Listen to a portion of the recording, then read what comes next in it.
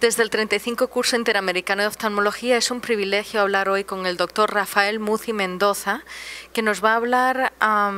sobre sus impresiones durante todos estos años en que ha estado asistiendo el curso, qué cambios ha visto y dónde ve el futuro.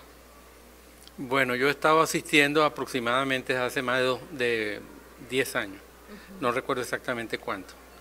pero pienso que una de las... Eh, cosas más encomiables ha sido que el Vasco Palmer se ha echado hacia afuera, y eso quiere decir se ha echado hacia Latinoamérica. Ha acogido a los médicos jóvenes que vienen buscando alguna, digamos, orientación o conocer profesores o establecer nexos acá, y yo creo pues que esa es una de las, de las cosas más importantes, me parece a mí, pues, mostrándoles al mismo tiempo el crecimiento de la,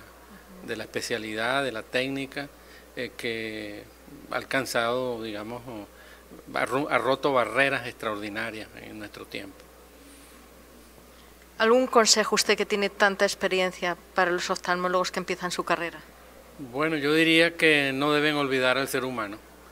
que mm, Alexis Carrel, un famoso eh, premio Nobel de Medicina, que eh, fue quien inventó la cirugía, la, eh, técnicas para pegar una arteria de la otra, decía, ha llegado el momento de detenernos para esperar al hombre. Y yo creo que una de las cosas que el médico no puede olvidar